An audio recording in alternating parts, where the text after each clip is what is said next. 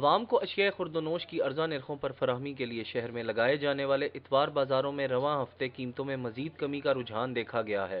सरकारी नरखनामे के मुताबिक रवा हफ़्ते बेशतर फलों और सब्जियों की कीमतों में गुजशत हफ़्ते की नस्बत दो से पंद्रह रुपए तक कमी देखी गई है। तहम सेब, केले, किन्नू लसन अदरक और गोभी की कीमतों में गुजशत हफ़्ते के मुकाबले में मामूली इजाफा रिकॉर्ड किया गया है। इतवार बाजारों में फरोख्त होने वाली अशिया के म्यार और कीमतों के बारे में शहरियों का कहना है की इतवार बाजारों में फरोख्त होने वाली सब्जियों और फलों की कीमतें और इतवार बाजारों से बाहर फरोख्त होने वाली सब्जियों और फलों की कीमतों में कोई खास फ़र्क नहीं है। उनका कहना है कि हुकूमत को इतवार बाजारों में अशिया खुर्दनोश के म्यार को बेहतर बनाने और कीमतों में इस्तेकाम के लिए इकदाम करने चाहिए। तो रेट हैं वो तकरीबन बाहर से उन्नीस बीस के फ़र्क के साथ सेम ही है। ऐसा सच आप ये नहीं कह सकते कि बहुत ज़्यादा डिस्काउंट मिल रही है या इसकी जो क्वालिटी है वो बाहर की नस्बत बहुत ज़्यादा अच्छी है।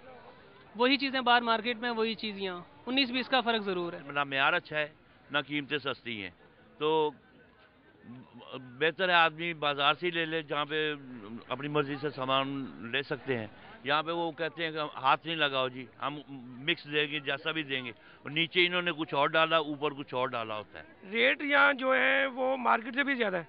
और आमतौर के पाकिस्तान में, पंजाब में, ये रेट जो है, हर कोई अपनी मर्ज़ी से लगा रहा है।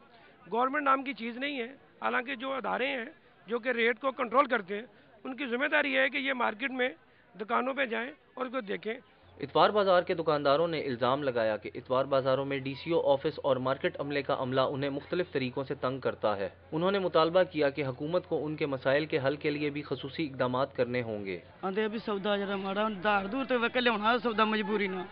नहीं है सौदा को जगह तंग करने, फिर खलोते सिर आखने, ना लाओ सौदा टीएमओ समनाबाद इम्तियाज़ अवान का कहना है कि सब्जियों और फलों का म्यार बेहतर बनाने के लिए मौसर इकदाम किए जा रहे हैं। सार्फिन की सहूलत के लिए आइंदा इतवार से सब्जियों और फलों की कीमतों का फैसला उनके म्यार के हवाले से किया जाएगा, जबकि दर्जा सोम की अशिया के लिए बाज़ार का एक हिस्सा मुख्त कर दिया गया है, जहाँ आइंदा इतवार से सिर्फ़ दर्जा सोम की सब्ज़ियाँ और फल फरोख्त की जाएँगी। नेक्स्ट संडे से, एक तो ये होगा कि बाकायदा लेआउट प्लान की तरह ये सारा स्टॉल जो है ना लगेंगे। और कोशिश कर रहे हैं कि नेक्स्ट संडे से फटे पे तरतीब में और लाइन में। और सबसे मेन जो हमारा फोकस है वो क्वालिटी पे है कि एक क्लास क्वालिटी जो है ना हो, होनी चाहिए।